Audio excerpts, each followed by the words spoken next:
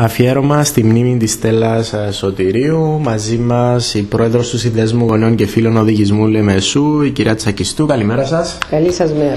Ε, κυρία Τσακιστού, πείτε μας για την εκδήλωση ε, που διοργανώνεται το Τσάιν Πασχαλινή Αγορά. Λοιπόν, η εκδήλωση αυτή είναι μια εκδήλωση που ο σύνδεσμος μας κάνει εδώ και πολλά χρόνια, θα έλεγα από την ίδρυση του το 1969. Ε, είναι ένα τσάιν με πασχαλινή αγορά. Φέτος όμως, ε, επειδή είχαμε πρόσφατα έναν θλιβερό γεγονός, χάσαμε έναν στέλεχος του, σημαντικό στέλεχος του οδηγισμού της Λεμεσού, της Στέλλας Σωτηρίου, έτσι αφιερώνουμε την, μνήμη αυτή, την εκδήλωση αυτή στη μνήμη της και θα γίνει και ειδική παρουσίαση για την προσφορά της Στέλλας των οδηγισμών της Λεμεσού και της Κύπρου γενικότερα. Μπορείτε να μας πείτε τι θα περιλαμβάνει η εκδήλωση; Λοιπόν, η εκδήλωση θα αρχίσει με αγιασμό από τον Πανιερότατο Μητροπολίτη Λεμεσού, κύριο κύριο Αθανάσιο. Ε, θα υπάρξουν μερικοί χαιρετισμοί. Η πρώτα πρώτα επίσημη καλεσμένη μας είναι η, κυρία, η πρώτη κυρία της ε, Κύπρου, η κυρία Άντρια Αναστασιάδη, η οποία ήταν και συνάδελφος της Στέλλας Σωτηρίου και δέχτηκε ευχαρίστως την πρόσκλησή μας και θα πει και λίγα λόγια για την εμπειρία που είχε με την γνωριμία της με τη Στέλλα. Θα ακολουθήσει το, το τσάι και μετά θα υπάρξει ένας σύντομος χαιρετισμός από εμένα με μια μικρή περιγραφή του πώς αγωνιστήκαμε για να κάνουμε το κτίριο αυτόν που είναι τώρα το κέντρο, η οδηγική στέγη της Λεμεσού και θα ακολουθήσει η παρουσίαση για το έργο της Στέλλας των οδηγισμών ε, της Κύπρου σε PowerPoint με πολλές λεπτομέρειες.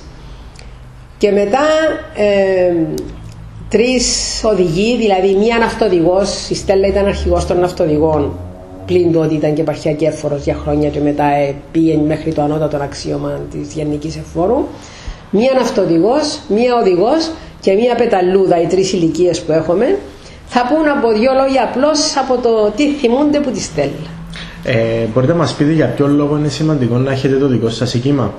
Είναι σημαντικότατο να έχουμε το δικό μας οικείμα, διότι είναι ένας χώρος στον οποίο μπορούν οι οδηγοί να συγκεντρώνονται, να εκπαιδεύονται, να οργανώνουν τις διάφορες τους εκδηλώσεις, να προγραμματίζουν τις, ε, τα διάφορα έργα που συμπεριλαμβάνουν προσφορά ε, εκτός του ότι η, η βασική στόχη του οδηγισμού είναι η υγεία, η πνευματική καλλιέργεια, η υγεία υγιεινή και δεξιοτεχνία.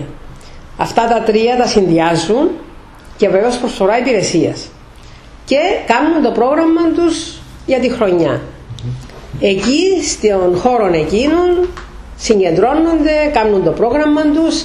Επειδή δυστυχώς στην Κύπρο δεν υπάρχουν πολλά ιδιόκτητα κτίρια στις άλλες επαρχίες, γίνονται πάρα πολλές παγκύπριες ε, εκδηλώσεις εδώ στο χώρο μας που οφείλω να πω ότι ε, είναι προσφο... το, το χώρο τον ενοικιάζομαι από την κυβέρνηση. Είναι με εκείνο το πρόγραμμα του μακροχρόνιου συμβολέου και σιγά σιγά ο σύνδεσμος μας εκατόρθωσε να χτίσει το οίκημα τούτων που δουλεύει εδώ και από το 1991 ξεκίνησε.